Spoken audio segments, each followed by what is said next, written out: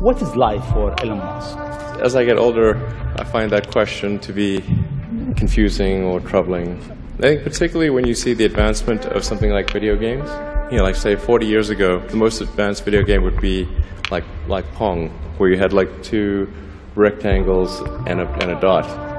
But now you can see a video game that's uh, photorealistic and millions of people playing simultaneously, and you see where things are going with virtual reality then eventually those games will be indistinguishable from reality. They'll be so realistic, you will not be able to tell the difference between that game and the reality as we know it. How do we know that that didn't happen in the past? And that we're not in one of those games ourselves? Tonight's topic is uh, Is the universe a computer simulation?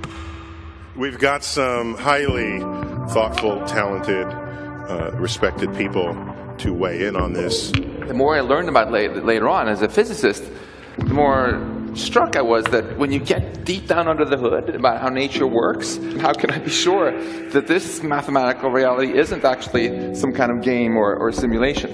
In my research, I had found this very strange thing error correcting codes. Error correcting codes are what make browsers work. So why were they in the equations that I was studying about quarks and leptons and supersymmetry? And that's what brought me to this very stark realization that I could no longer say that people like Max were crazy. So you're saying as you dig deeper, you find computer code writ in the fabric of the cosmos. Computer code, strings of bits of ones and zeros. We seem to see a pattern forming over here. Our universe is pixelated, a matter isn't as real and as solid as we'd hoped.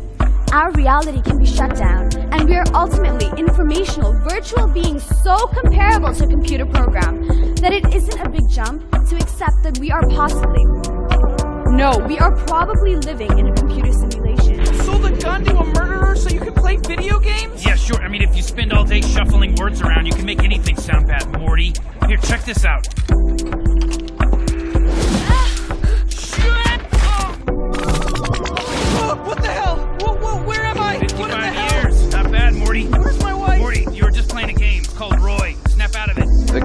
Guy who really started forcing scientists to take this a bit more seriously and gave this idea a bit more scientific street cred, I think, is uh, Nick Bostrom, my fellow Swede, Nick Bostrom. we are almost certainly living in a simulation. It's a little bit complex, but it's really not more complex than most like educated people could probably get their heads around if they thought about it for half an hour, an hour, kind of if they actually tried. You know, there's this interesting argument by your colleague at Oxford, Nick Bostrom. He argues that the notion of a simulated universe. What do you think about that? I, I can't see how you could refute it. I mean, I, I, I can't see how you would actually be sure that we're not. If the simulation hypothesis is valid, then we open the door to eternal life and resurrection and things that formerly have been discussed in the realm of religion. And the reason is really quite simple because as long as I have a computer that's not damaged, I can always rerun the program.